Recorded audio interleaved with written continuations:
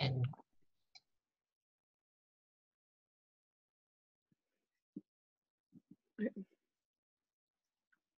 As I experienced this scripture, painting, and exercise, there were so many things I could pick apart and really spend time reflecting on. However, I noticed my heart being drawn to the words quiet and open. In the exercise, we are asked to let our minds be quiet and our hearts open. I was taken aback when I heard these words so close together because, as a person who's constantly surrounded by chaos living on a college campus, I do not associate quiet with open. When I need quiet, I close my door, find time, find time alone, shut out the world around me. The reflection reminded me that closed does not mean quiet, especially as I am actively awaiting the coming of Jesus.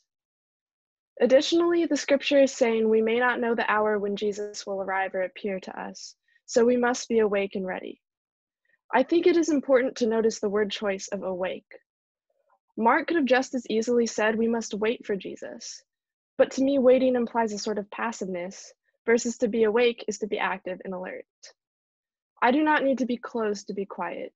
I need to be open and awake. I need to be doing God's work, and through that, I will be able to have a quiet heart that is prepared for Jesus' arrival.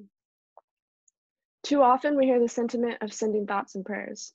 And while the power of thoughts and prayers is nothing to be diminished, they take a passive role, a waiting role. I see this scripture as a call to action, similar to the Jesuit value of contemplatives in action. I can connect myself to Jesus through acting as Jesus would, instead of just waiting for Jesus.